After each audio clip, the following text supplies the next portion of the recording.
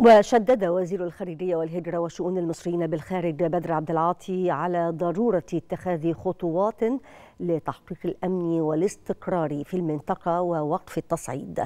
كما أكد عبد العاطي مناقشة عدد من القضايا الملحة في المنطقة والقرن الإفريقي مع الجانب الفرنسي.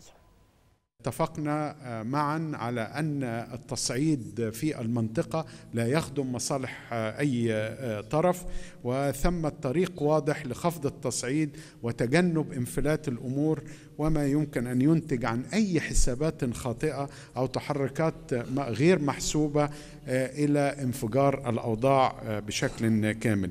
كما ذكرت اتفقنا سويا أن العنصر الهام في وقف هذا التصعيد هو اولا وقف حمام الدم والقتل الذي يحدث في قطاع غزة وبشكل فوري وفي إطار صفقة متكاملة وبما يمثل المخرج الوحيد لتجنيب المنطقة مخاطر الحرب والمواجهات التي لن يخرج منها أي طرف رابحا.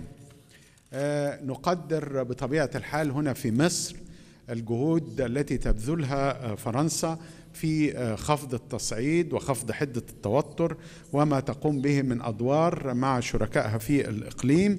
ونؤكد مرة أخرى أن الفرصة لا تزال صانحة إذا صدقت النوايا وإذا كانت هناك إرادة سياسية لدى الأطراف. في وضع حد لهذه المذابح اليومية التي تحدث في غزة ويعيشها الفلسطينيون.